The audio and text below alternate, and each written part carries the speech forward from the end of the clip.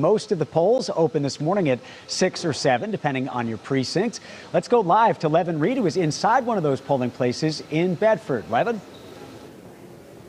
Hey, Liam, and here in Bedford, New Hampshire at the Bedford High School, this polling place opened at 7 a.m., and there has been a steady stream of voters coming through the Bedford High School gymnasium doors since that time. Now, this is the only polling precinct in Bedford, and it's a town of 25,000 people. The concerns of the voters are many, from student loans to medical bills to having an overall trust with the candidates. The voters I spoke to expressed their specific concerns as well.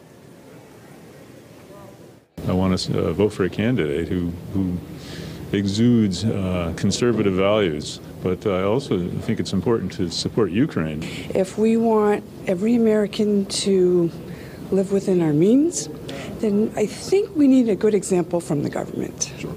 I think they need to try to find a way to balance the budget. I think we need to go back to a time where we work together uh, towards common goals as opposed to seemingly tribalistic approaches where we fight each other on everything.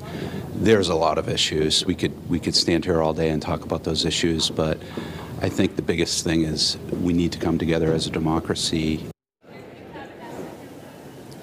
Well, Liam, I can tell you that we're getting a lot of first-time voters. There's an applause that goes up every time we have a first-time voter goes through. And by the way, this precinct closes at 7 p.m.